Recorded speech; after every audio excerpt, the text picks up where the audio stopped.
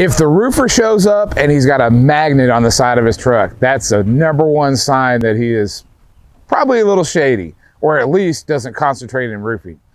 If they ask for a deposit, run as fast as you can. It means a couple of things. One, they're either uh, taking your money and paying for the last job they did, uh, or two, they're just not going to pay for anything and they might run. And you see these problems all the time in the news.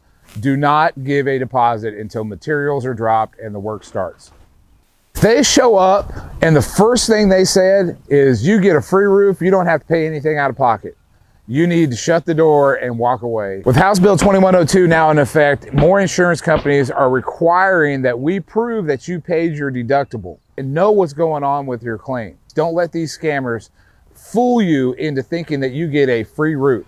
Make sure that you check with their supplier. Make sure that they pay their bills. Be open, be honest, and say, just tell the roofer, hey, we're going to research you and see what you're about. Or even better, do it before they even show up. There's no reason that you can't go online and look at the the uh, roofer's webpage, look at their Better Business Bureau rating, look at their Google reviews, look at their Facebook page and their Facebook rating. And if they don't look above board and legitimate, then they probably are not.